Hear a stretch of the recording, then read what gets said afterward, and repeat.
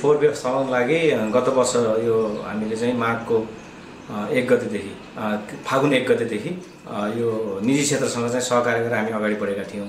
र यो जुन नगरपालिकाले उठाउने फोहोरको रकमबाट हामी चालिस प्रतिशत चाहिँ नगरपालिकालाई र साठी प्रतिशत चाहिँ त्यो निजी क्षेत्रलाई अ, निजी कम्पनीलाई हामीले चाहिँ दिने र बजारको फोहोरहरू चाहिँ ऊ स्वयंले सबै उठाउने भन्ने हाम्रो चाहिँ एउटा सम्झौता पनि भएको र यस अब चाहिँ हामी एक वर्ष पुरा गरिसकेका छौँ र पुनः यसलाई बिचमा केही समस्याहरू आए केही समस्याहरू जस्तै कामदारको कारणले गर्दा वा चाहिँ त्यही जुन ठेकेदार कम्पनी पनि अब चाहिँ काम नगर्न गर्न नसक्ने भन्ने खालको पनि कुरा आयो।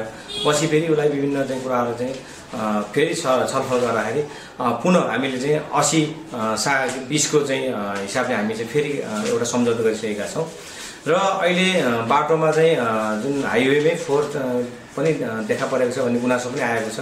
र म्यानेजमेन्टमा चाहिँ अलिकति समस्या आएको छ भन्ने पनि आएको छ। तर हामीले जुन यो कम्पनीको चाहिँ प्रोभाइडर छ उसँग चाहिँ हामी फोन गरेर उसलाई भेटेर हामीले चाहिँ कुरा गरिसकेका छौँ यस विषयमा। र यो दुई दिनभित्रमा चाहिँ यसलाई हामी व्यवस्थापन गर्छौँ। र साथसाथै त्यो ठाउँमा चाहिँ अलिकति भूगोलको पनि अलिकति सानो साँघुरो छ। त्यो भूगोल साँघुरो भएको कारणले गर्दा त्यहाँ चाहिँ त्यो फोर्स अट्न सक्ने चाहिँ अवस्था छैन।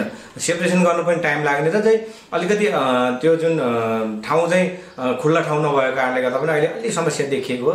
र तुरुन्त हामी चाहिँ यो यस विषयमा चाहिँ जुन प्रश्नहरू उठ- उठेका छन् यसलाई चाहिँ हामी निराकरण गर्नको लागि हामी तुरुन्तै यो चाहिँ ठेकेदारसँग चाहिँ बसेर हामी चाहिँ यसलाई गर्छौँ र साथसाथै उसलाई हामीले आज पनि गुनासो आइसकेपछि हामीले चाहिँ फोन गरेर ल तुरुन्तै हटाउनुहोस् भनेर आज दिनभरिमा चाहिँ धेरै चाहिँ व्यवस्थापन गर्छु भनिसक्नु भएको छ र पुनः